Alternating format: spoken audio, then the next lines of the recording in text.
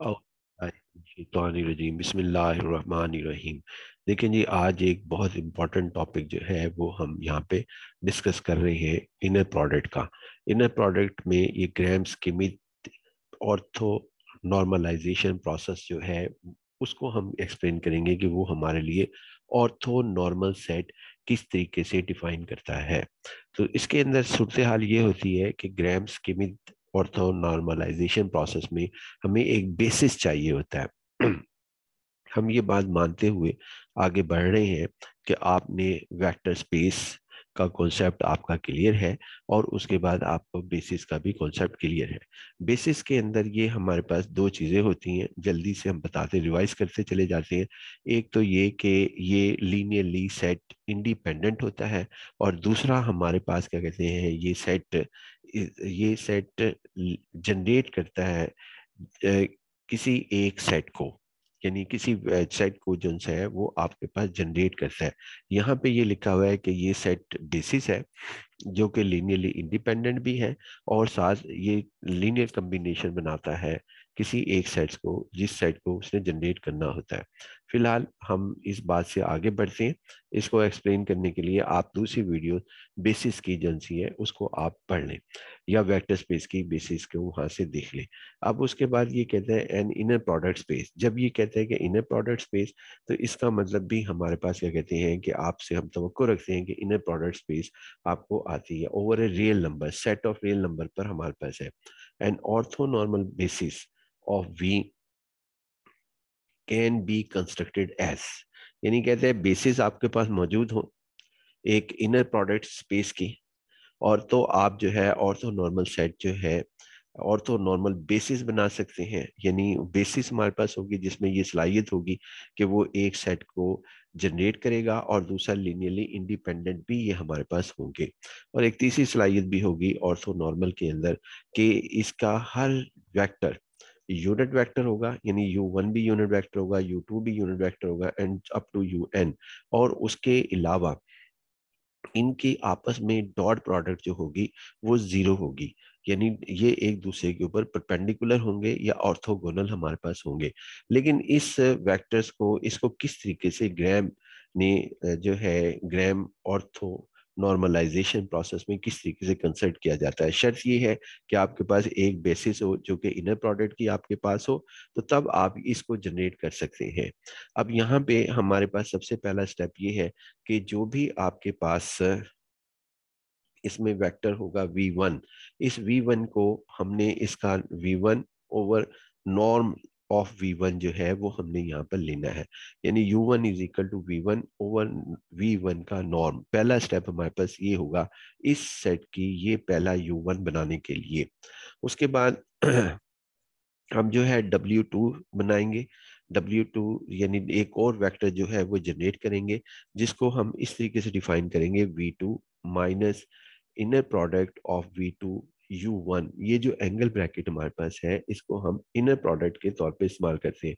यानी V two you one का inner product और into U one U one एक वेक्टर है, जबकि ये इनर प्रोडक्ट एक हमारे पास स्केलर है।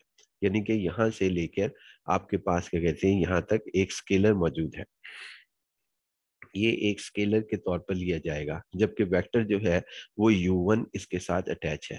तो एक नया वेक्टर हमने इंट्रोड्यूस करवाया w2 is equal to V2 minus inner product of U1 V2 into U one और फिर उसके बाद हम कह रहे हैं कि जी आप एक और वेक्टर डिफाइन करेंगे जो कि आपके पास W2 के ऊपर डिफाइन किया जाएगा। यानी आपके पास जो वेक्टर हमारे पास ये है W2 ये वेक्टर हमारे पास, इसकी मदद से हम एक और U2 वेक्टर जो है वो डिफाइन करेंगे, जो इस तरीके से डिफाइन होगा कि W2 ओवर W2 का नॉर्म हमारे पास होगा। जो यहाँ पे नॉर्म हमारे पास लिया जा रहा है, फ़िलहाल वो हमारे पास बिल्कुल ऐसे ही है जैसा वेक्टर्स की मैग्नीट्यूड ली जाती है। यानी नॉर्म ऑफ़ वेक्टर से मुराद यहाँ पर, फ़िलहाल आप ये समझ लें जो आपकी आसानी के लिए बेहतर है कि कोई भी वैक्टर की जो मैग्नीट्यूड लेने का तरीक़ेकार है, वही हमारे पास क्या कहते हैं डब्ल्यू टू के वैक्टर्स का लेने का तरीक़ेकार है। सबसे पहले जी आपको थोड़ा सा वेट करना पड़ेगा इसको समझने के लिए कि आप इसके अंदर और कौन कौन सा प्रोसेस जो है वो हम कर सकते हैं। यानी इस ग्राम स्कीमित नॉर्मलाइजेशन प्रोसेस को हम किस तरह एक्सप्लेन करेंगे? उसके बाद आगे जी एक चीज़ और कि अगर आप, मैं यहाँ से शुरू करना चाहूँगा W5 से। W5 इससे आगे कि जो W5 है, वही आपका V5 होना चाहिए। जिस इंडेक्स का ये है, वो यानी W के ऊपर 5 का इंडेक्स है तो V5 से हम लेंगे। अब V5 का आप गौर करें कि हम जो है इस V5 को V5 को अब हर जगह पे हम इनर प्रोडक्ट के साथ लेंगे यानी ये V5 है तो यहाँ पर भी हमने V5 लेना है। और इसके साथ U1 लेंगे हम U1 पहले U1 लेंगे। मैं एक स्टेप समझाना चाह रहा हूँ याद करने के लिए। फिर उसके बाद V5 फिर दोबारा यहाँ पे आएगा। इनर प्रोडक्ट इनर प्रोडक्ट का मतलब ये एंगल ब्रैकेट आपके पास V5 यहाँ आएगा। फिर उसके बाद यही V5 जो है वो आपके पास इस जगह पर आएगा। और देन V5 जो है वो आपके पास इस जगह पर आएगा। यानी ये V5 और उसके बाद कहाँ तक इस V5 को इनर प्रोडक्ट के तौर पे लिखा जाएगा? तो इस सवाल का जवाब जो है, वो आपको ये देता है, यानी ये इंडेक्स देगा। ये इंडेक्स आपके पास, ये इंडेक्स यानी फाइव ये फाइव है तो फोर तक हमने जाना है। फोर तक क्या मतलब? अब देखें, आप जरा गौर करें कि हमारे पास क्या कहते हैं, यहाँ पर आप जरा इस पॉइंट पे गौर करना जी, कि ये वी फाइव है। हमारे पास ये V5 आपके पास था तो इसके साथ U1 पहले आया इनर प्रोडक्ट के साथ, यानी ये एंगल ब्रैकेट और ये एंगल ब्रैकेट इसके बाद फिर V5 के साथ, यानी इस V5 के साथ इसे दोबारा लिखा और उसके बाद यहाँ पे U2 आया। ये U2 है जी आपके साथ, पहले U1 आया था कॉमे के साथ V five comma U one inner product इस एंगल ब्रैकेट को हम इस तरह पढ़ते हैं। यानी ये हमारे पास होगा।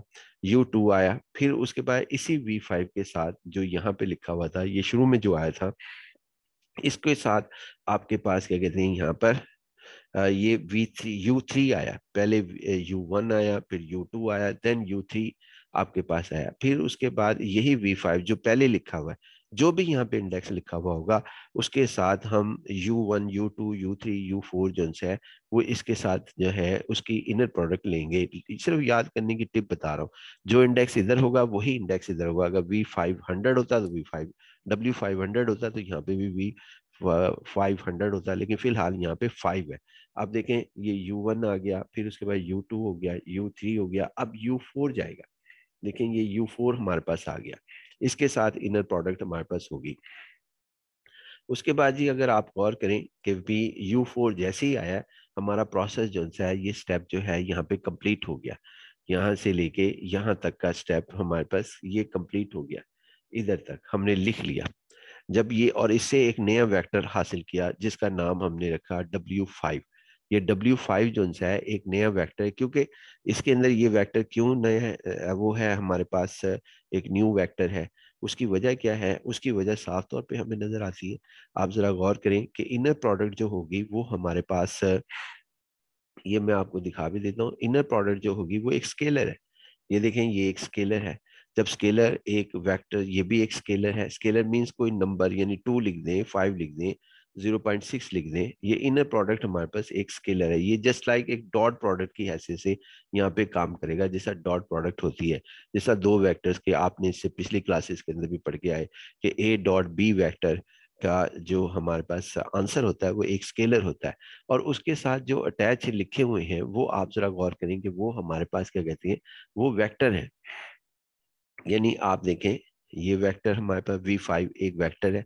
स्केलर नहीं है u1 एक वेक्टर है इसी तरह u2 एक वेक्टर है क्योंकि हमने शुरू में इसका इंट्रोडक्शन करवाया था कि ये हमारे पास किसी वेक्टर स्पेस का हिस्सा है तो लिहाजा ये वेक्टर स्पेस का हिस्सा है तो लिहाजा ये वेक्टर्स ही होंगे u1, u2, u3 और चूँकि v u1, u2 वेक्टर ही से हासिल हो रहे हैं और ये देखें u4 ये भी एक वेक्टर है अब वेक्टर्स को जब हम इन स्केलर से मल्टीप्लाई करेंगे, यानी कि ये स्केलर से मल्टीप्लाई करेंगे तो वो भी स्केलर से जब हम इसको, ये स्केलर मीन्स टू लिखा हुआ है टू को यू वन से मल्टीप्लाई करें तो ये एक वेक्टर है।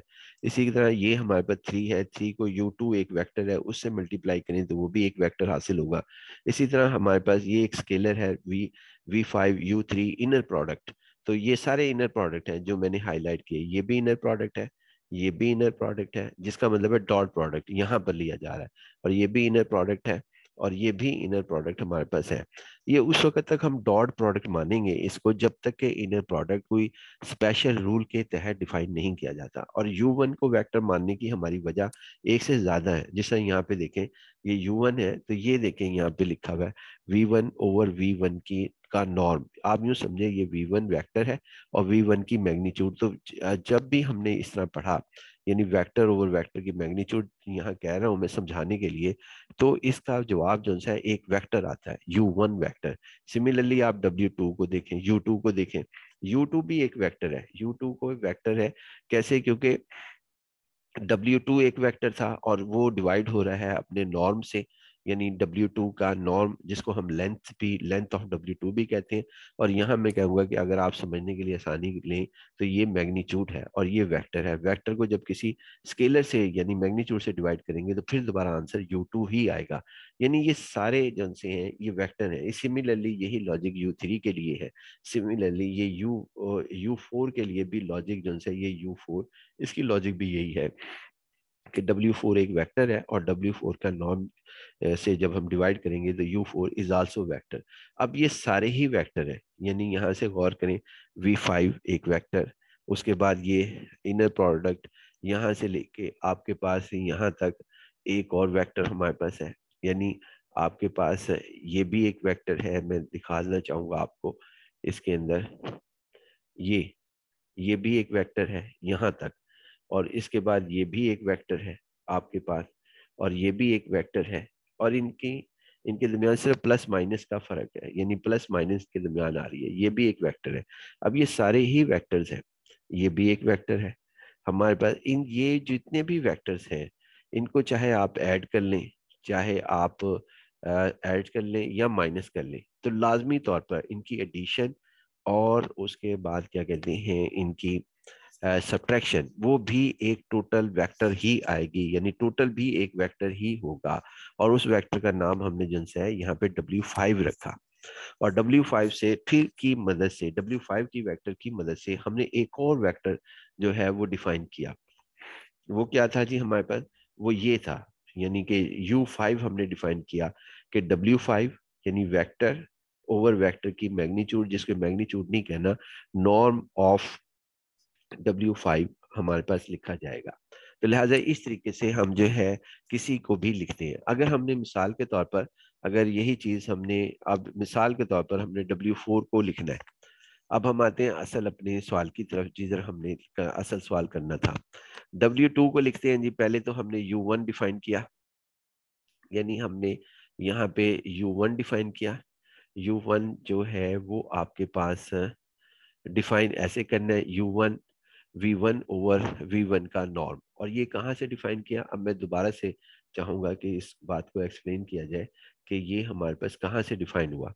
ये जो चीज़ होगी ना, ये इधर से डिफाइन हुआ। फिर दोबारा हम इन सबको जो से है, आपस में चेन की तरह जो से है, इनको ज्वाइन कर देंगे। ये जो है ना, ये वाला V one comma V two V three up to so on V N ये वेक्टर गिवन होंगे। यानी ये हमारे पास गिवन हो गए ये वेक्टर जिसको ये बेसिस कह रहा है, क्योंकि इस सेट का स्पेशल नेम बेसिस हमारे पास है। तो हम, यहाँ से हम एक एक वेक्टर जो है, वो पिक करते रहेंगे और हम इसको हल करेंगे। मिसाल के तौर पर ये वी वन यहाँ से, इस वी वन को हमने जो है, यहाँ से पिक किया। इस वी वन को वी वन को, जो भी पहला होगा उसके बाद फिर इसको डिफाइन किया v1 one over V one का नॉर्म जिसको मैं मैग्नीट्यूड कह रहा हूँ। V1 one over V one का norm is equal to U one एक वेक्टर हमने डिफाइन कर लिया। उसकी मदद से अब मजीद हम देखें, दूसरे वेक्टर डिफाइन करते हैं, जो कि लिखने का तरीक़ेकार मैंने आपको सिखा दिया था। और यहाँ पर जैसे ही हमने इसको लिखा, हम गौर करना कि ये इसका, यहाँ यू वन ये इसका ऑर्थो नॉर्मल बेसिस का जो है एक मेंबर बन गया U1 ये वाला U1 इधर मेंबर बन जाएगा इसका। अब नेक्स्ट पॉइंट की तरफ़ आते हैं जी हम, कि अब अब मैंने W2 एक नया वेक्टर डिफाइन करना है। अब पहले का नाम तो U1 रखेंगे, बाकी सब के नाम जो से हैं W2 से शुरू करेंगे और फिर देखें हम क्या करते हैं, फिर U2 डिफाइन करेंगे। W2 है इंडेक्स इसका क्या है टू इसका इंडेक्स आपके पास टू है। तो हम यहाँ पे V2 लिखेंगे। और कहाँ तक हम इसको करेंगे जी, इसमें? देखिए जी, आप W2 का लिखने के लिए इसका ये इंडेक्स W2 लिखा और यहाँ पे V2 लिखेंगे। अब वी टू लिखा है तो इसमें से इनर प्रोडक्ट लेंगे, ये हमने। V two inner product U one और कहाँ तक लिखेंगे? यू वन तक। और उसके बाद फिर यू वन साथ लिख देंगे। और फिर यू टू डिफाइन करेंगे, जिसका हमने अभी आपके साथ एक्सप्लेन किया। डब्ल्यू फाइव को आप दोबारा चेक कर सकते हैं। यू टू डिफाइन हमेशा इसी तरह करेंगे कि जो आपके पास यहाँ पे लिखा हुआ होगा, जो वेक्टर नया वेक्टर आएगा, जो कि आपके पास ये आएगा डब्ल्यू टू उसकी मदद से हम एक और नया वेक्टर यू टू डिफाइन करेंगे W two over W two का नॉर्म हमारे पास होगा। अब इसी तरह हम यहाँ पर गौर करें, जब ये डिफाइन हो जाएगा तो ये ये हम जो है यू टू जैसे ही डिफाइन होगा, हम इसे ऑर्थो नॉर्मल सेट के अंदर लिख देंगे। अब हम यहाँ पर डब्ल्यू स्टेप नंबर थ्री करते हैं।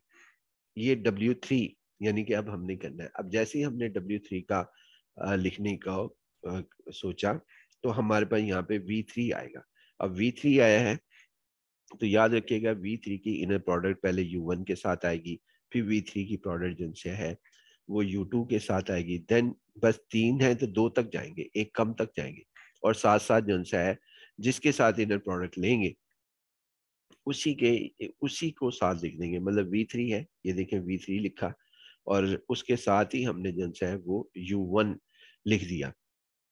यानी यू वन जो है वो हमने यहाँ पर लिख दिया। इसी तरह वी थ्री यहाँ पर लिखा। वी थ्री को आप देखें, इस जगह पर हमने लिखा। और इसके फ़ौरन साथ ही जो है, पहले यू टू लिखा। और जो यहाँ लिखते हैं, वही साथ लिख देते हैं यू टू और ये ये भी, ये आपके पास क्या कहते हैं, यहाँ पर जो इधर यू वन था तो इधर यू वन लिख दिया। इस तरीके से हम जो है, यहाँ पर इसको लिखते चले जाते हैं और फिर एक नया वेक्टर जो है, वो हासिल हुआ डब्ल्यू थ्री जब डब्ल्यू थ्री हासिल हुआ, उसको हमने यू थ्री की मदद से एक नया वेक्टर का नाम दिया, यानी डब्ल्यू थ्री और डब्ल्यू थ्री की मैग्नीट्यूड जो कि आपके पास यू थ्री लिखा गया। और जिसको हम डिफाइन करने के बाद यहाँ पे लिखेंगे, हम एक एग्ज़ाम्पल करेंगे, जिससे ये प्रोसेस जो है आपको आसानी के साथ समझ आ जाएगा। फ़िलहाल आप जिनसे है, इस बात को, के लिखने के तरीकेकार को हम गौर कर रहे हैं। अब यहाँ डब्ल्यू फोर लिखना है जी। डब्ल्यू फोर लिखने के लिए हमें दोबारा वही जो ऑर्डर मैंने आपके साथ डिस्कस किया था, आप दोबारा भी वीडियो को देख सकते हैं। डब्ल्यू फोर वी फोर अब वी फोर को क्या इनर प्रोडक्ट लेना है? पहले यू वन के साथ भी लेंगे। ये देखें, इसका इनर प्रोडक्ट जो है, वो हम किस किस के साथ लेंगे? इसका यू वन के साथ भी लेंगे यू टू के साथ भी लेंगे यू थ्री के साथ भी यानी तीन तक लेंगे, क्योंकि कम करना है। ये देखें, ये V four inner product U one हमने लिया, फिर वी फोर का इनर प्रोडक्ट यू टू के साथ लिया, और साथ वही लिख देंगे जो यहाँ लिखा हुआ होगा, वही यहाँ लिखा हुआ होगा। इसी तरह जैसा यहाँ पे यू टू लिखा हुआ है तो आपके साथ यहाँ पर यू टू लिखा होगा। फिर इसी वी फोर का वी फोर का इनर प्रोडक्ट जो है, तीन तक, यानी यू थ्री तक लेंगे, क्योंकि एक इंडेक्स कम तक लेना है। और जो यहाँ लिखा हुआ होगा, वही यहाँ पर लिखा होगा, और दरमियान में ये माइनस जो है, वो हम लिखेंगे। दरमियान में माइनस हर एक में देखें माइनस ही लिखा हुआ है। यहाँ पे भी माइनस हर जगह माइनस लिखा है। और इनकी मदद से हमारे पास एक वेक्टर जो है, वो जनरेट होगा। और जो हमारे पास, क्या कहते हैं, यहाँ पर वेक्टर जो जनरेट होगा वो आपके पास, ये W4 होगा, क्योंकि ये भी एक वेक्टर ही होगा जिसका अभी हमने एक्सप्लेन किया। फिर जब W4 आपके पास हासिल हो जाएगा, फिर एक और हम वेक्टर मालूम करेंगे U4 यानी इसके अंदर दो स्टेप्स हैं। हर स्टेप में फर्दर दो स्टेप है। W4 ओवर W4 का नॉर्म यानी इसकी मैग्नीट्यूड W4 की मैग्नीट्यूड कह लें तो U4 हमारे पास होगा। जो भी नॉर्म वहाँ पे डिफाइंड होगा, उसके मुताबिक हम करेंगे। इसी तरह W5 को हमने एक्सप्लेन कर चुके हैं, अब दोबारा नहीं करते। अगर स्टेप सिक्स की ज़रूरत पेश आएगी तो स्टेप सिक्स करेंगे। अमूमन, हमारे पास जो है, वो तीन स्टेप तक ही हम सवाल हल करते हैं। हमें ये किस तरह मालूम होगा कि हमने स्टेप वन करना है, यानी स्टेप वन करना है, या स्टेप टू करना है, या स्टेप थ्री तक करना है, या स्टेप नंबर फोर या स्टेप नंबर फाइव तक करना है, या स्टेप नंबर सिक्स तक? या अप टू स्टेप एन तक करना है। तो इस सवाल का जवाब ये है कि अगर आपके पास जो क्वेश्चन दिया गया है, उसमें जो सेट दिया गया है, वो सेट अगर तीन तक का है तो तीन यानी कि तीन वेक्टर आपको दिए गए हैं तो आपने सिर्फ़ और सिर्फ़ तीन स्टेप कर करने और अगर आपके पास कोई ऐसा सेट दिया गया है डिस्कस करने को बेसिस करने को, जिसकी मदद से आपने ऑर्थो नॉर्मल बेसिस बनानी है, इस सवाल में ज़रूर दी जाएगी आपको। तो उसके अंदर अगर पाँच वेक्टर है तो इस पाँच वेक्टर है जो सवाल में दिए हुए हैं और उनकी मदद से ऑर्थो नॉर्मल बेसिस बनाएँगे ग्राम्स कीमित और नॉर्मलाइजेशन प्रोसेस से। अगर वो पाँच है तो पाँच स्टेप तक हमने करना है स्टेप वन टू थ्री ये करते इसी तरह ही आना है। Step one two three four five तक हमने जो है, और वो यहाँ तक हम इसको डब्ल्यू फाइव तक हम करेंगे। और अगर इसी तरह आप इस बात को जनरलाइज कर सकते हैं। ये देखें जी, हमने यानी कि अगर डब्ल्यू एन आ जाता है एन से मुराद एन वेक्टर आपको दिए जाते हैं तो डब्ल्यू एन मालूम करेंगे और यू एन तक हम जो है अपना सवाल को हल करेंगे। और इसको एक दफ़ा रिवाइज कर रिवाइज कर लेते हैं कि अगर डब्ल्यू एन वैक्टर को डिस्कस कर रहे हैं, यानी यू एन वैक्टर आप फाइंड आउट करना चाहते हैं तो जो इंडेक्स यहाँ पर होगा, वही इंडेक्स जो है वो आपके पास इधर होगा। वी एन पर, यानी ये वी एन आपके पास वही इंडेक्स के साथ जो है, वो हमारे पास मौजूद होगा। अब इसके अंदर वी एन है तो इसकी इनर प्रोडक्ट जो है, वो हम जो है वी एन की इनर प्रोडक्ट कितनी दफ़ा लेंगे? यू वन के साथ लेंगे।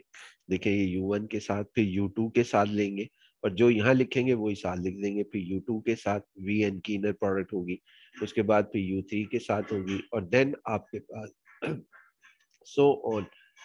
एक कम तक जाएँगे? U N minus one, V N की इनर प्रोडक्ट।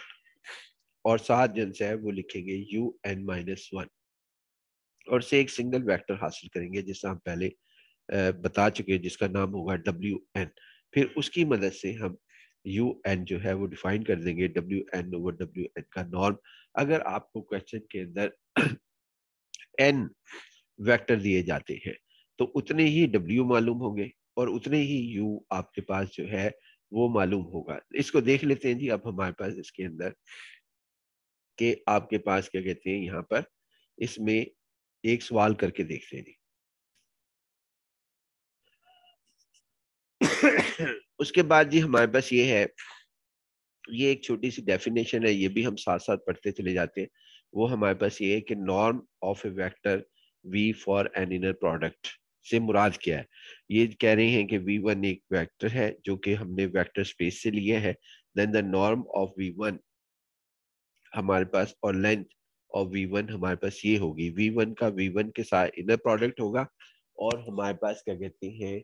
इसके अंदर इसको define norm of V one से डिफाइन किया जाएगा। हर दफ़ा वी वन और वी वन का जो इनर प्रोडक्ट है, वो ज़रूरी नहीं है कि आपके पास डॉट प्रोडक्ट ही हमेशा रहे।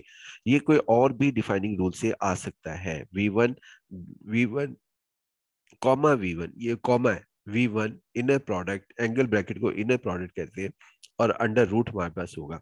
फ़िलहाल जो हम क्वेश्चन करने जा रहे हैं, उसके अंदर जो इनर प्रोडक्ट है वो आपके पास डॉट प्रोडक्ट की हैसियत से लिया जा रहा है। ये देखिए जी हमारे पास ये तीन वेक्टर है, जो कि हमने वेक्टर स्पेस से लिए हैं।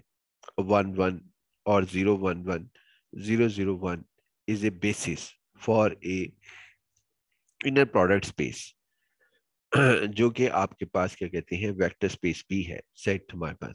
Using Gram Schmidt orthonormalisation process transform this basis into an orthonormal basis यानी एक ऐसे सेट के अंदर ऑर्थोनॉर्मल सेट एक ऐसा सेट होगा, जिसके अंदर हर वेक्टर की मैग्नीट्यूड जो होगी वो वन होगी। और उसकी जो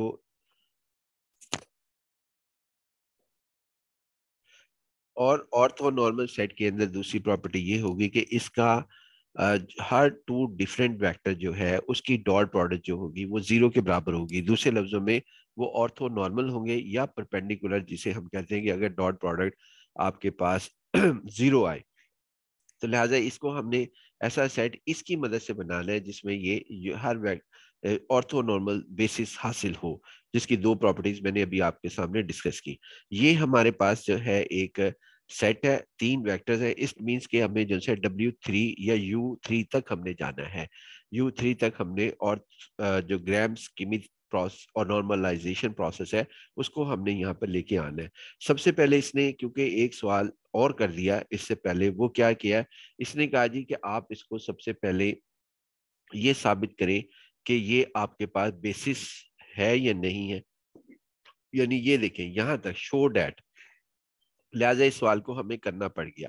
अदरवाइज़ अगर ये कह देता कि ये है ही बेसिस तो फिर हमें इस सवाल को करना ना पड़ता जो मैं अब आपके साथ डिस्कस कर रहा हूँ यहाँ पे ये बेसिस के अंदर, यानी बेसिस में। सबसे पहले है जी लीनियरली बेसिस को साबित करने के लिए हम तेज़ी से करते हैं। इससे पहले लेक्चर्स के अंदर भी हम कर चुके कि स्टेप नंबर वन ये होता है कि लीनियरली इंडिपेंडेंट साबित करें इन तीन वैक्टर्स को। तो इस तीन वेक्टर्स को लीनियरली इंडिपेंडेंट साबित करने के लिए हमें क्या करना पड़ता है? तीनों के साथ ए बी सी लिखकर और is equal to zero zero हम लिखते हैं और उसके बाद हम कोशिश करते हैं कि ए बी और सी की वैल्यू जो है वो आपके पास ज़ीरो आ जाए। तो ये देख लेते हैं जी हमारे पास क्या करते हैं। इसको पहले लीनियरली इंडिपेंडेंट हमारे पास ये साबित होता है या नहीं होता, इसको चेक कर लेते हैं।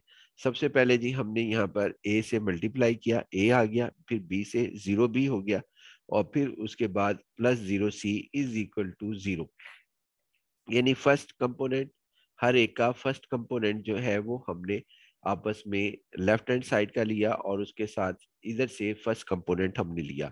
और जब हमने इन दोनों को कंपेयर किया तो हमारे पास जो रिज़ल्ट आया वो आया A is equal to zero आप करके देख सकते हैं। फिर हमने ये किया कि सेकंड कंपोनेंट यानी इस ए को इससे मल्टीप्लाई किया। तो ए हासिल हो गया, फिर बी को इससे मल्टीप्लाई किया तो ए प्लस बी हासिल हो गया।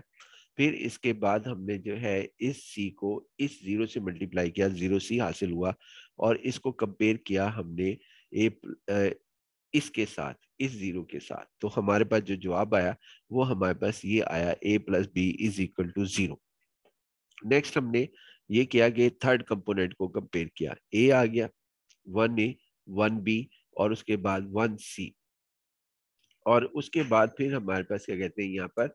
ज़ीरो हासिल हो गया। और जब हमने कंपेयर करके ये रिज़ल्ट को लिखा तो ये रिज़ल्ट हमारे पास हासिल हुआ। तो इन तीनों क्वेश्चन को हम जो है यहाँ पर सॉल्व करते हैं और इसका जवाब जो है वो आपके सामने रखते हैं। इसमें A is equal to zero हासिल हुआ, इसको इधर पुट किया हमने तो फिर B is equal to zero हासिल हो गया, यानी ए की जगह ज़ीरो पुट किया जी। A is equal to zero तो फिर ये बी हासिल हो गया, फिर ए ज़ीरो बी ज़ीरो इसको यहाँ पुट किया तो C is equal to zero हमारे पास हासिल हो गया। लिहाजा हम ये कह सकते हैं कि ये वेक्टर जो से one one zero one one zero zero one is the linearly independent basis की पहली कंडीशन जो है वो फॉलो हो गई। ये बेसिस की पहली कंडीशन जो है वो आपके पास फॉलो हो गई। अब हम आते हैं कि ये जनरेट करता है किसी इसको लीनियर लीनियर कम्बिनेशन का मतलब ये होता है एक्स वाई जी को कोई भी वेक्टर ले आर क्यूब के अंदर से, यानी कार्टेशियन आर क्यूब में से जो भी वेक्टर ले, उसको ये जनरेट करता है या नहीं करता। उसके लिए फिर दोबारा हम यहाँ पे इधर लिखते हैं ज़ीरो ज़ीरो चीज़ वही लिखते हैं ए के साथ one one B plus B zero one one plus C zero zero one और इज़ इक्वल टू अब यहाँ लीनियरली इंडिपेंडेंट का सवाल हो तो यहाँ पर ज़ीरो ज़ीरो लिखते हैं। और अगर आपके पास ये सवाल हो लीनियर कम्बिनेशन का या स्पेन का या जनरेट का, ये तीनों वर्ड एक ही जैसे हमारे पास होते हैं। तो ये उसके लिए एक्स वाई जी हम लिखते हैं और फिर हम इसको साबित करेंगे कि ये इसको जनरेट करता है। तो इसके लिए हम यहाँ पर देखें जी, इसके अंदर दोबारा हमने वही सवाल करना है। यानी किस तरीके से हम करेंगे कि क्वेश्चंस बनाएँगे, यानी A A plus zero B plus zero C is equal to X जो कि ये लिख दिया A plus zero B plus zero X फिर उसके बाद सेकंड कोऑर्डिनेट की डिस्कशन ये ए बन गया ए को वन से मल्टीप्लाई किया ए प्लस बी और उसके बाद प्लस ज़ीरो सी जो कि ये बन गया is equal to second coordinates की कंपैरिजन ये हमारे पास हो गया A plus B plus zero C is equal to Y similarly फिर ए और वन को मल्टीप्लाई किया ए वन अब थर्ड कोऑर्डिनेट्स को हम कंपेयर करेंगे प्लस बी प्लस सी और ये हमारे पास आ गया जी। यानी आपके पास आया जी थर्ड इक्वेशन जो सी है, वो आएगी ए प्लस यहाँ पे ना हमने डायरेक्टली पहले ही पुट कर दिया लेकिन पहले करने के बजाय हम यहाँ पर ए लिख दें तो ज़्यादा बेहतर है। ये समझें कि A plus B plus C is equal to Z लिखा जाएगा, क्योंकि या आप याद रखिएगा कि यहाँ पर ए लिखा हुआ है। या हम कर भी लेते हैं चेंज कर लेते हैं कि ये हमारे पास जो है यहाँ पर क्या लिखा हुआ है। ये देखें जी, हमारे पास A plus B plus C is equal to Z जो है, उसके मुताबिक जो है वो हमारे पास लिखा गया। अब इसके अंदर दोबारा हम ये सारी वैल्यूज़ हल रखते हैं इसके अंदर तो आपके सामने जो रिज़ल्ट आएगा, वो हम इसके अंदर देख लेते हैं जी। ये रिज़ल्ट हमारे पास इसमें आपके पास आएगा जी। ये A is equal to X ये हमने यहाँ पुट किया और सॉरी यहाँ पुट कर लेते हैं पहले। A is equal to X तो B is equal to Y minus X फिर B Y minus X put किया और A is equal to X इधर पुट किया तो इस इक्वेशन के अंदर C is equal to Z minus Y आ गया। चूँकि अब वेक्टर ये हम कह सकते हैं कि ये वेक्टर जो है, ये लीनियर कम्बिनेशन के अंदर लिखे जा सकते हैं। बहुत बेहतर होगा कि आप मेरा दूसरा लेक्चर भी ले लें, जिसके अंदर मैं ये डिस्कस कर रहा था कि ये हमारे पास लीनियर कम्बिनेशन में किस तरीके से लिखे जा सकते हैं। नेक्स्ट पॉइंट की तरफ़ आते हैं जी। Every vector X Y Z can be written as the linear combination of the set 1 1 0 1 1 0 0 1 इसके अंदर ये लिखा जा सकता है, लिहाजा सो द गिवन यानी हमारे पास set is linearly independent and generate generate कह लो लीनियर कम्बिनेशन कह vector space so the given set is a basis for V कि ये वी की हमारे पास है, ये सवाल हमें करना पड़ गया था, जी, क्योंकि इसने डिफाइन किया था कि आप इसको यहाँ पे करेंगे। अब हमारे पास ये है कि अब असल सवाल अब शुरू होता है, जिसको जो हमारे असल टॉपिक का हिस्सा है। लेकिन एग्ज़ाम के अंदर अगर ये हमारे पास आ जाता है तो आपको इसको करना पड़ेगा। कि शो डैट कि वो आपके पास बेसिस है या नहीं है, इस सवाल को पहले हमने हल किया। असल सवाल जो हमारा और टारगेट है, वो दूसरा जो सवाल आता है, अगर वो सवाल के अंदर ये खुद ही कहता है शो डैट नहीं कहता इफ़ कहता है। यानी ये शो डैट की बजाय इफ़ कहे if this set 111 is a basis, then use the Gram-Schmidt orthonormalization process transform the basis into an orthonormal basis. अगर ये ये कहता है तो फिर हम इसको जो है यहाँ पर आगे, इससे आगे ये करेंगे स्टेप इस स्टेप को स्किप कर देंगे जो मैंने अभी तक आपके साथ डिस्कस किया। लेकिन ये अब हमारे पास एक दोबारा हम अब ऑर्थो नॉर्मल बेसिस को जनरेट करने के तरीके कार को जिस तरीके से हमने डिस्कस किया, उसको हम डिस्कस कर रहे हैं। ये देखें ये है वन वन इसको मैंने कहा कि आप वी वन कह लें? यानी कि वी वन हम इसे कह लेते हैं और दूसरा वेक्टर ज़ीरो वन वन इसको मैं कहता हूँ कि आप वी टू कह लें और फिर ज़ीरो ज़ीरो वन आप वी थ्री कह लें। इसके अंदर अगर आप ऑर्डर आगे पीछे भी कर देंगे, यानी कोई स्टूडेंट जो है ज़ीरो ज़ीरो वन को पहले लिख दे और वन वन को सेंटर में लिख दे और ज़ीरो वन वन को लास्ट में लिख दे, इससे कोई फ़र्क नहीं पड़ेगा। आप जो है वहाँ पर जो वेक्टर्स हैं आपके पास, उनके नाम रखेंगे। उसी तरतीब से जिस तरतीब में वो मौजूद हैं। तो यहाँ पे वी वन वन जो है, वो आपके पास, ये हमारे पास है। वी वन वन इसका नाम हमारे पास वी वन है रखा, हमने वी वन रखा। उसके बाद फिर हमने स्टेप वन में पढ़ा था कि यू वन जो है, वो इसके इक्वलेंट होता है। V one over V one का नॉर्म अब नॉर्म जो होता है, वो इनर प्रोडक्ट के डिफाइन हमने कर लिया था कि नॉर्म ऑफ़ वी वन जो होगा, वो इनर प्रोडक्ट होगा विद इट्स यानी वी वन का वी वन के साथ जो है ना डॉट प्रोडक्ट लेकिन यहाँ पे ना आपके पास थोड़े से ये गलत हो गया इसको हम यहाँ पे वन कर लेते हैं क्योंकि ये वन है इसके अंदर। ये वन हमारे पास है जी। One V one dot V one ये sorry V one V one का इनर प्रोडक्ट इसको हम ऐसे पढ़ते हैं और जब हम इसको करते हैं, यानी ये हमारे पास तो ये जस्ट लाइक like हम इसको इस तरह करते हैं कि ये वी वन जो है, यानी वी वन ये इसको हम पढ़ लें, आप वन आई इसे पढ़ लें वन जे प्लस वन के यानी one I plus one J plus one K फिर इसके डॉट प्रोडक्ट लें वी वन का, दो दफ़ा लिखकर वी वन का। यानी आप इसको अगर हम लिखना चाहें तो हमारे पास क्या कहते हैं, इसको हम इस तरीके से लिखेंगे। ये मैं आपको दिखा देता हूँ लिखकर।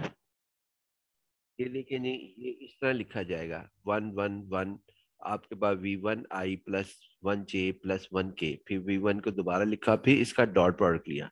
जब इसका डॉट प्रोडक्ट लिया तो वो ये हमारे पास रिज़ल्ट आ गया और उसको हमने इनर प्रोडक्ट का, जो भी डिफाइनिंग रूल होगा, इनर प्रोडक्ट का वो उसके मुताबिक करेंगे। अगर डिफाइंड नहीं होगा तो हम इसको जो है, यहाँ पे डॉट प्रोडक्ट की हैसियत से लेंगे। अब हम आते हैं जी यहाँ पर कि इसका जो नॉर्म आया, वो हमारे पास, जब हमने इसको हल किया तो वी वन का नॉर्म थ्री अंडर रूट आया। अब हमने जो है, इसके अंदर वैल्यू रखी वी वन की। वी वन की वैल्यू और नॉर्म ऑफ़ वी वन की जब वैल्यूज़ हमने यहाँ रखी यही बात करें टू थ्री इन टू तो हमारे पास ये रिज़ल्ट हमारे पास आ गया, जिसको हम इस तरह करेंगे, लिख सकते हैं। तो लिहाजा यू वन जो है, वो हमारे पास डिफाइंड हुआ वन ओवर थ्री का अंडर रूट प्लस और one over three under root into one three under root यही बात हमने यहाँ पे भी लिखी है कि वी वन को आप इस तरीके से लिख सकते हैं, यानी जो वी वन आपका ये वाला वी वन है, इसको हम इस तरीके से लिखें, फिर इस तरह लिखें, फिर डॉट प्रोडक्ट लें तो ये इनर प्रोडक्ट की तरह यहाँ पे रोल अदा करेगा हमारे इस सिनेरियो के अंदर। तो लिहाजा ये हमारे पास इनर प्रोडक्ट को हमारे पास थ्री अंडर रूट आना इसको वी वन जि, ये जिस प्रोसेस से आया जो मैंने आगे बयान किया है उसको हम जो है इस प्रोसेस का नाम नॉर्मलाइजेशन ऑफ़ वी वन लिखते हैं। एग्ज़ाम के अंदर अगर कोई वेक्टर आ जाता है कि नॉर्मलाइजेशन ऑफ़ वी वन करे तो आप इसी तरीके से करेंगे जिस तरीके से ये यहाँ पर वी वन का हमारे पास हासिल हुआ है। वी वन वन वन का नॉर्मलाइजेशन, जिस तरीके से हमने ये वी वन का नॉर्म हासिल किया। अब हम आते हैं जी के इसका सेकंड स्टेप क्योंकि तीन वेक्टर हैं तो डब्ल्यू थ्री तक हम करेंगे। डब्ल्यू टू जो है वो लिखा जाए, जो इंडेक्स यहाँ होगा, वही इंडेक्स जो है, इधर होगा वी के साथ। यानी वी डब्ल्यू के साथ इंडेक्स टू है। ये टू हमारे पास है तो वी टू आ गया। अब वी टू के इनर प्रोडक्ट लेंगे? एक कम तक, यानी यू वन के साथ लेंगे वी टू यू वन और इंटू यू वन अब वी टू की ना यू टू के साथ इनर प्रोडक्ट नहीं लेंगे। इसकी इनर प्रोडक्ट हमारे पास जिस तरीके से हमने लास्ट टाइम डिस्कस कर चुके हैं, अपने लेक्चर के अंदर। फिर उसके बाद साथ जो यहाँ लिखा हुआ होता है, वही यहाँ लिखा हुआ होगा। अब इनके अंदर इनकी वैल्यूज़ को हम यहाँ पे रख लेंगे। अब वैल्यूज़ रखने के लिए आप देखें गौर से देख लीजिए कि यहाँ पर आपका वी तो यही है। वी टू हमारे पास क्या कहते हैं? वी टू क्या था? ज़ीरो वन वन आपके सेट के अंदर वी टू जो हमने शुरू में लिखा है वो अभी बताते हैं। और यू वन जो है वो आपका ये है यू वन ये वैल्यूज़ हम यहाँ रखेंगे यू वन और फिर इसकी यहाँ पे वी टू के साथ डॉट प्रोडक्ट हम लेंगे। और साथ जो है ये यू वन ये वाला यू वन जो है, ये यहाँ पर लिख देंगे। तो हमारे पास वी टू जो है वो देख लीजिएगा कि वो हमारे पास ज़ीरो वन वन है। अब हमारा जो असल टारगेट है वी टू भी हमारे पास है। और यू वन भी हमारे पास है, जो नहीं है हमारे पास, वो इनर प्रोडक्ट नहीं है। वी टू की आपके पास क्या कहते हैं, यू वन के साथ। अब वी टू वैक्टर हमारे पास, इसको हम अभी से फाइंड आउट कर लेते हैं और फिर इनकी वैल्यूज़ को हम याद रख देंगे। आपके पास सवाल के अंदर भी यहाँ पर ये वी टू दिया हुआ है, जिसे आप देख सकते हैं। ये वी टू हमारे पास क्या कहते हैं, इसके अंदर ये वी टू आपके पास ये दिया हुआ है। वी टू ये वी टू आपके पास ये मौजूद है। और बाकी चीज़ें जो सी वो मैंने आपके सामने डिस्कस कर दी। अब यहाँ पर आता है जी कि ये हम इसके अंदर दोबारा आते हैं। आपके साथ, ये देखें जी, हमने डब्ल्यू टू मालूम करने के लिए पहले यू वी टू और यू वन की इनर प्रोडक्ट एजेंसी है, वो हमने यहाँ पे डिफाइन की। ये इसके अंदर ये कर रहे हैं जी। ये वी टू है हमारे पास और कॉमा ये कॉमा है जी आपके पास। ये जिससे डॉट नहीं है कॉमा इनर प्रोडक्ट में डॉट नहीं आता। कॉमा आता है और लिखने के अंदाज में। फिर उसके बाद ये यू वन की वैल्यू है। अब इसकी और ले, लेकिन लेते हैं हम डॉट प्रोडक्ट की हैसियत से आपके पास। तो यहाँ पर आपके पास वी वन डॉट यानी ये समझे आपके पास इसको हम पढ़ते कैसे इसे पढ़ेंगे हम zero I plus one J plus one K और इसको हम पढ़ेंगे one over three under root I plus one over three under root J plus one over three under root K और फिर इनकी डॉट प्रोडक्ट लेंगे। तो आपके पास ये जवाब आ जाएगा जी हमारे पास डॉट प्रोडक्ट लेकर। और इसे मजीद सिंप्लीफाई करेंगे तो ये हमारे पास जवाब होगा। इसके अंदर एक छोटी सी बात और जहन में रखिए कि ये यू टू नहीं है। ये आपके पास क्या कहते हैं यहाँ पर? वी टू है। ये वी टू हमारे पास है जी वी टू इसको हम सही कर भी लेते हैं। यानी कि वी टू हमारे पास जो है, वो लिखा हुआ है। ये वी टू हमारे पास है जी।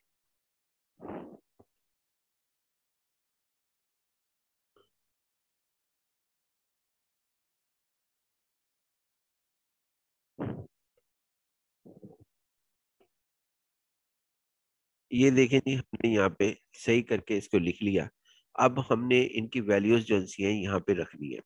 यानी इसकी value I V two you one की इनर प्रोडक्ट की जो वैल्यूज़ है हमारे पास इसके अंदर V two in U one की इनर प्रोडक्ट की value two over three under root आई वो हमने इधर सब्सिट्यूट कर देनी इसकी जगह.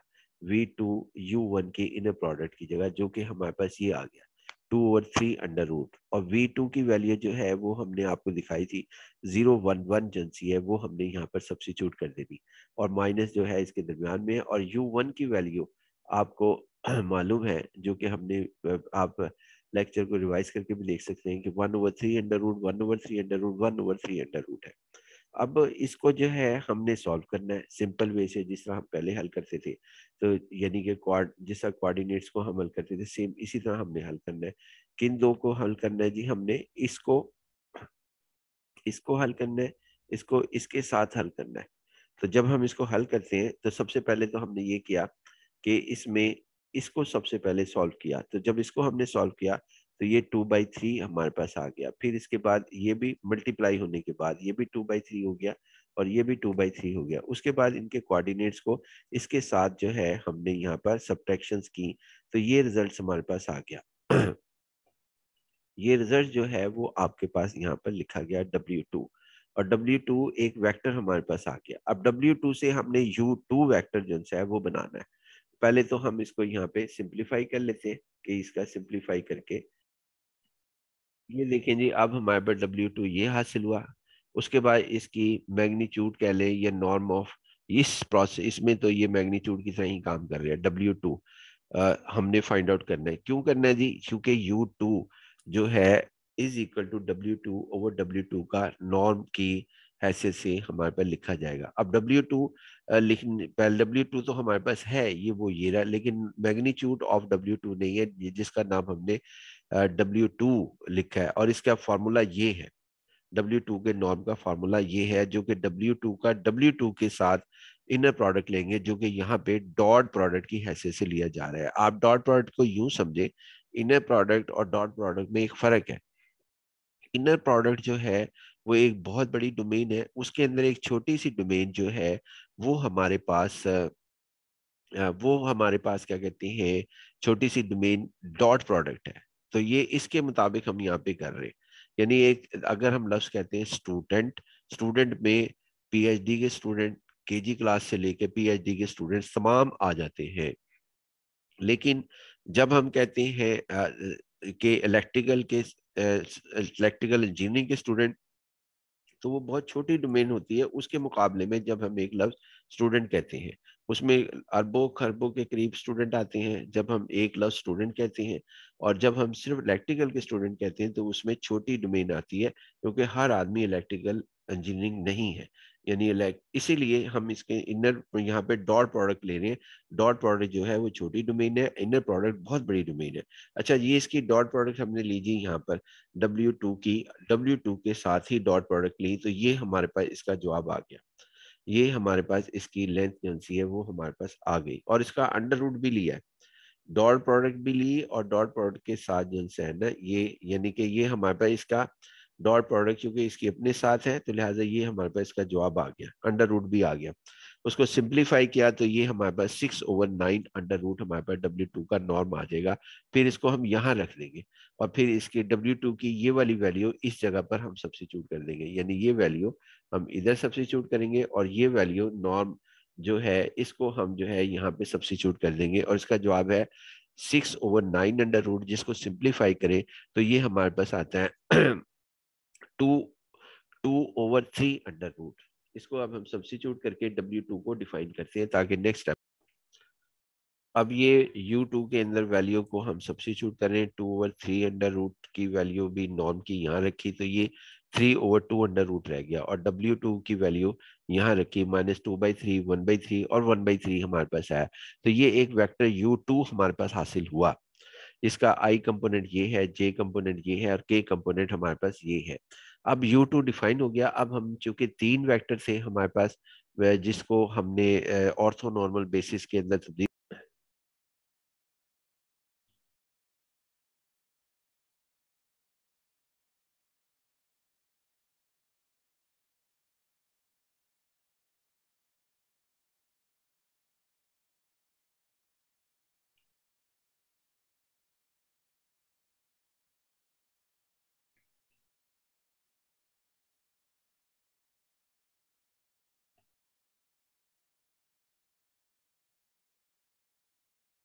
देखें जी अब हमारे पास क्या है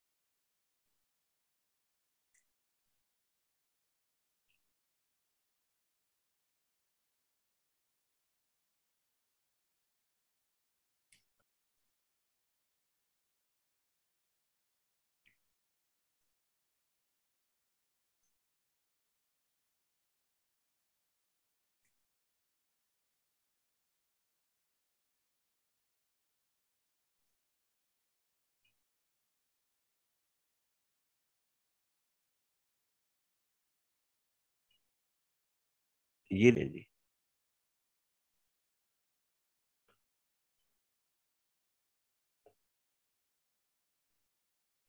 ये देखें जी, हम दोबारा यहाँ पे करते हैं।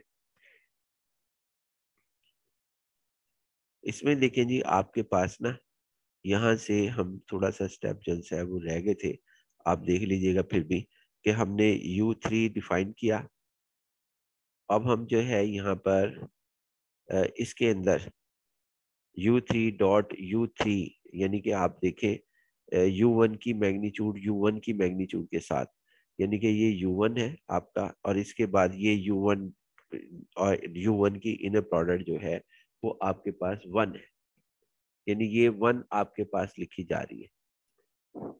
लिहाजा हम इसको वन मैग्नीट्यूड इसकी होगी। सिमिलरली आपके पास U2 ये आपके पास U2 है, यहाँ से लेके जिसका है माइनस टू आपके पास इसका जवाब जो है वो हम कर लेते हैं सही।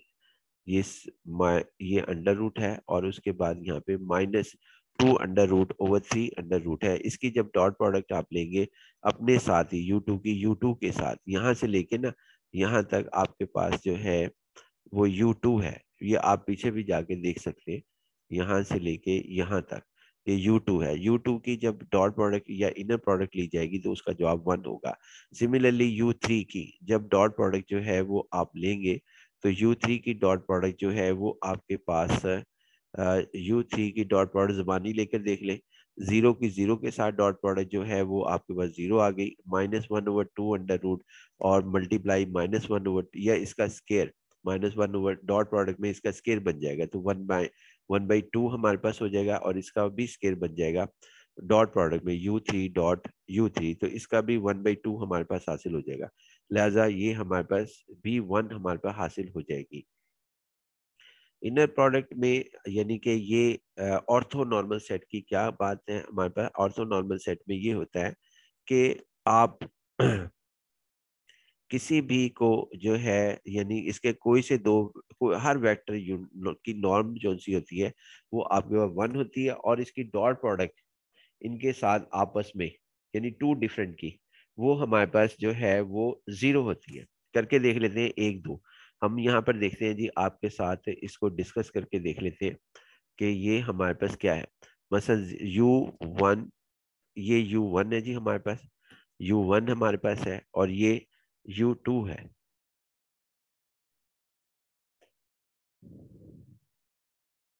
ये हमारे पास, इसके अंदर ये ये यू टू है जी।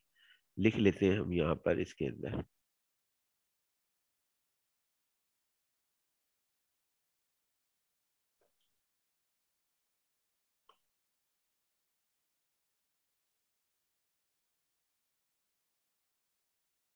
ये U2 है जी। और ये U1 ये U1 है। U1 है। इनकी आपस में डॉट प्रोडक्ट लेंगे तो आपके पास ज़ीरो हमारे पास होगी। ऑर्थो नॉर्मल सेट की ये दोनों प्रॉपर्टीज़ के हर वेक्टर जो है वो मैग्नीट्यूड उसकी जो है वो आपके पास वन होती है और टू डिफरेंट वेक्टर जो होती है, वो आपके पास क्या कहते हैं यहाँ पर उनकी डॉट प्रोडक्ट ज़ीरो के बराबर लिखी जा सकती है। लिहाजा हम इसको कहते हैं कि ये ऑर्थो नॉर्मल सेट हमारे पास मौजूद है। आप चेक करके देख लें, एक दो को हम चेक कर लेते हैं कि ये हमारे पास कौन कौन सी डॉट प्रोडक्ट यू वन की, यू थ्री के साथ डॉट प्रोडक्ट चेक करते हैं। ये ज़ीरो है। ज़ीरो को जब इससे मल्टीप्लाई करेंगे तो ये ज़ीरो हमारे पास हासिल हो जाएगा। फिर ये हमारे पास minus one over two under root है। इसकी डॉट प्रोडक्ट जब हम यू वन की, यू थ्री के साथ लेंगे minus one over six under root आ जाएगा। और फिर उसके बाद one over two under root आ जाएगा और फिर one over six plus one over six under root हमारे पास आ जाएगा। लिहाजा ये इसकी, इसको सम करेंगे minus one over six under root plus one over six under root तो जवाब जो है वो आपके पास ज़ीरो हासिल हो जाएगा। इसी तरह आप अगर गौर करें तो हमारे पास यू थ्री की डॉट प्रोडक्ट जो है वो ज़ीरो और इसकी यू टू की डॉट प्रोडक्ट के साथ लेते हैं तो हमारे पास ये ज़ीरो हो जाएगा। फिर उसके बाद आप जो है यहाँ minus one over two under root लें और इसकी, इसके साथ minus one over twelve under root आ जाएगी और डॉट प्रोडक्ट में और फिर इसी तरह हमारे पास one over two under root की डॉट प्रोडक्ट जैसे one over plus one over twelve under root आ जाएगी। इन दोनों को ऐड करें तो U one dot U U three dot U two जो है वो भी ज़ीरो आ जाएगा। लिहाजा ऐसे वेक्टर जिसके अंदर हमारे पास ये कंडीशन पाई जाए कि उसकी हर वेक्टर की मैग्नीट्यूड या नॉर्म या नॉर्म कह दें तो वन हो और उनकी हर टू डिफरेंट वेक्टर्स का आपस की डॉट प्रोडक्ट जो है वो ज़ीरो हो तो इस वेक्टर्स को हम ऑर्थो नॉर्मल सेट कहते हैं। यही बात हमने जो है यहाँ पर लिखी है इसकी डेफिनेशन के अंदर। यानी इसकी डेफिनेशन में हमने यही बात यहाँ पर लिखी है कि नोट नोट हमने लिखा है कि आपके पास a set with inner product is set to be orthonormal if the inner product of each vector with itself is one. And uh, जो कि from the above problem we have seen कि inner product u1 u1 की is equal to one u2 2 की inner product one u3 3 की inner product one है। और orthonormal set के अंदर हर वेक्टर जो होता है वो हमारे पास यूनिट वेक्टर होता है क्योंकि उसकी उसकी जो है मैग्नीट्यूड जो सी है वो हमारे पास वन ही आती है। आप बेशक करके देख लीजिएगा कि यहाँ पर ये सूरत हाल बनती है। और सेकंड हमारे पास के यू वन डॉट दूसरी प्रॉपर्टी ऑर्थो नॉर्मल सेट की, जो यहाँ नहीं लिखी, वो आप लिख लीजिएगा। U one dot U two और U two dot U three is equal to zero यानी सारे वेक्टर आपस में एक दूसरे के परपेंडिकुलर होते हैं। U one dot U two dot U three यानी ऑर्थोगोनल हमारे पास होते हैं। यहाँ तक ये लेक्चर खत्म हुआ। इंशाल्लाह जी, बाकी नेक्स्ट लेक्चर में। अल्लाह हाफिज़।